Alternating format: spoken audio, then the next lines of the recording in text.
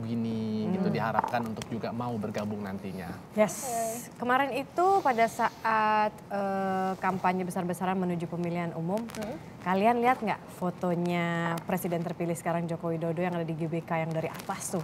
Oh, yang wah, banyak lautan manusia itu kan. lautan tahu, ha, ha. manusia Dari itu. belakang fotonya ya. Ha, ha, ha, ha, ha. Yes, itu kan sempat ada yang mengatakan apakah itu yang foto Jay Subiakto atau bukan? Tapi yang jelas ketika saya di sana itu ada yang terbang tiu tiu tiu tiu tiu tiu tiu dengan kamera. ya? Yes, jadi para pegiat foto dan video kini tidak hanya terbatas berkaya di darat saja. Helikopter mungil dengan remote control kini memungkinkan fotografer untuk mengabadikan gambar dari udara.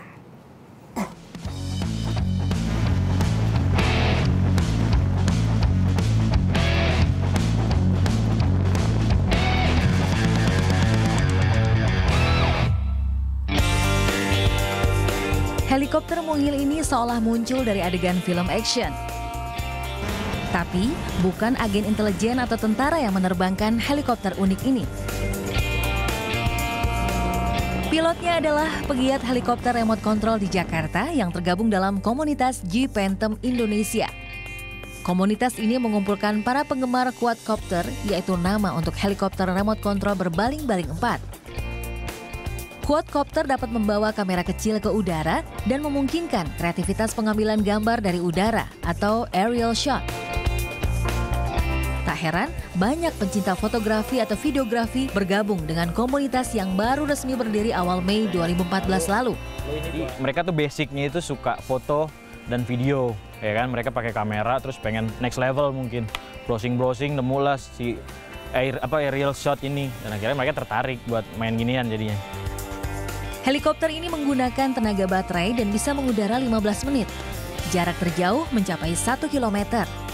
Sedangkan tingginya dibatasi sampai 400 meter saja.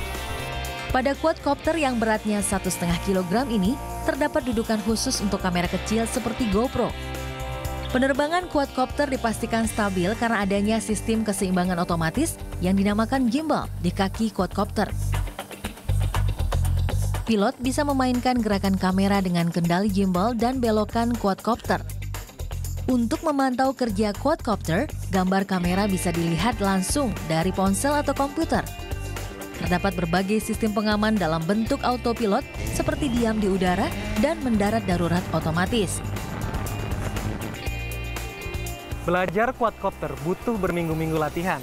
Ini karena harus terbiasa. Seringkali orang bingung kapan helikopter maju dan kapan helikopter mundur. Sekitar belasan pencinta quadcopter ini menghabiskan waktu pada akhir pekan di Jakarta untuk berkumpul dan saling mempelajari teknik terbang. Setiap dua minggu mereka bertemu di tempat-tempat yang cocok untuk foto udara, seperti Senayan, Bundaran Hotel Indonesia, Taman Mini, dan juga beberapa daerah luar kota. Yang uniknya itu yang utama ya seru lah. Habis itu setelah itu menyenangkan. Gitu. Bisa bikin film, filmnya yang bagus-bagus lah, keren-keren gitu. Komunitas Phantom Indonesia terbuka bagi semua pemilik quadcopter yang ingin berkumpul. Bagi para penggemar foto atau video udara, harus merogoh kocek 11 juta rupiah untuk satu quadcopter. Jika membutuhkan peralatan lain seperti kamera dan monitor, harga sewa bisa mencapai 20 juta rupiah.